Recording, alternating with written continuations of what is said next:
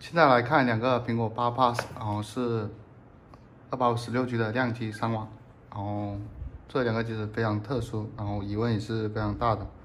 可以看到最大容量百分之九十八，最大容量百分之九十五，然后分别点设置看一下。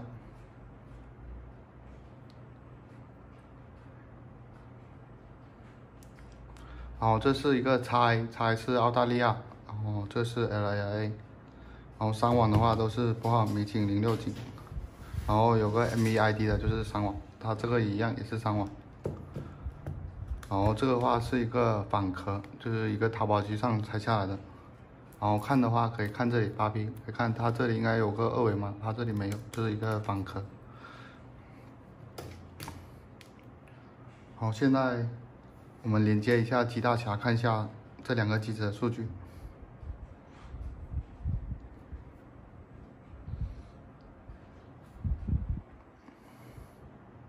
可以看到这个是十七项全部正常，就是全绿，全绿。然后换这一个。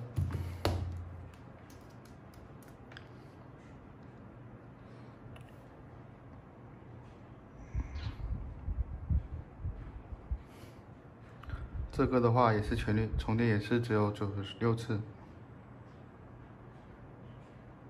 我看一下，也是全绿，全部正常。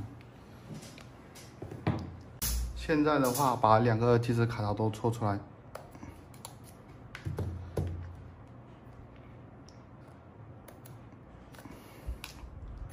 然后这两个卡槽话都是对码的，就是说跟 MEI 是一样的，然后可以看一下侧码。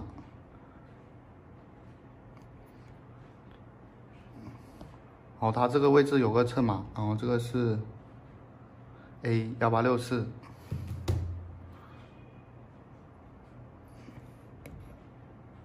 这个的话也是一样有测码，然后有，然后现在的话是外观看的话都是没什么问题，但是它电池效率为什么会那么高？然后现在来拆机看一下。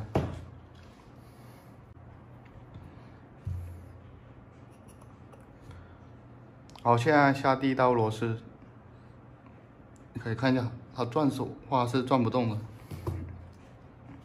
然后这个话，然后现在的话来吹一下这两个机子有没有漏气。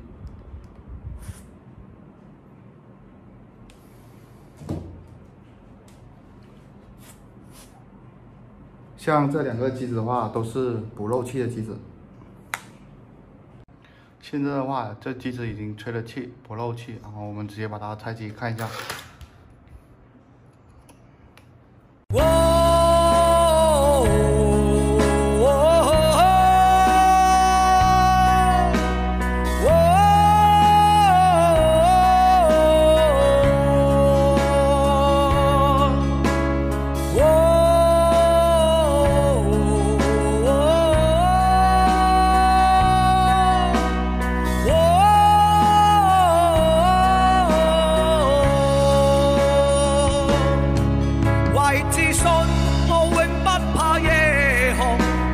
劝我自弹自唱将声寞向梦想里寻尽管一切是狂想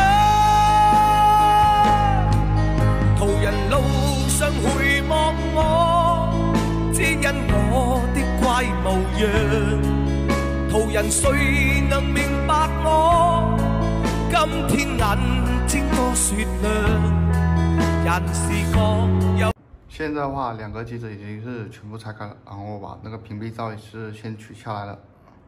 然后像刚刚我说的这个壳的这个位置撕撕掉，这个，然后我们直接打开。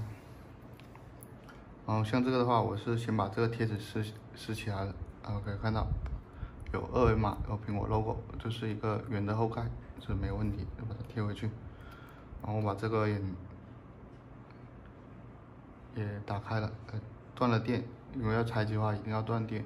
看到这有苹果 logo，然后看八系列的屏幕有没有压过盖板，就是看这里，它这里有个海绵垫，小小块的。海绵垫这里有一块，它有的话就不是一个后压屏。看其他地方的话都是很漂亮的机子。然后像电池的话，可以对比一下。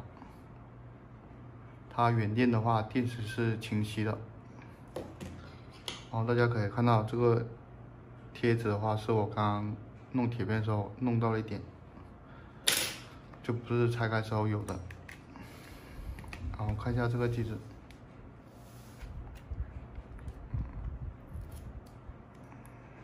然后看一下这个机子，也是一样有二维码，有苹果 logo，这后盖是圆的。然后看一下屏幕，logo，然后像这个位置有个那个海绵垫，它这个也有，就是不是压过盖板屏。哦，就是这两个的话都是真正的原装的机子，然后没有任何问题。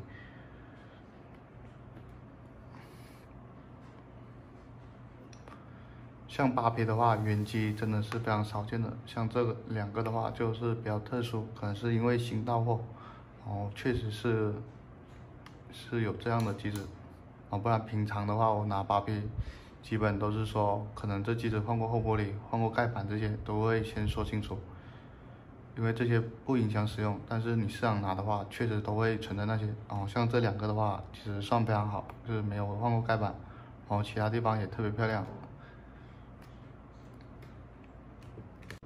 然后最后来看一下苹果八 Plus 的屏主板铁片，然后像这铁片的话也是，虽然是一个小部件，但是它也是有真假的。因为翻新机的话一般会用这种仿的铁片，然后原机的话就是自带这种铁片，可以看到，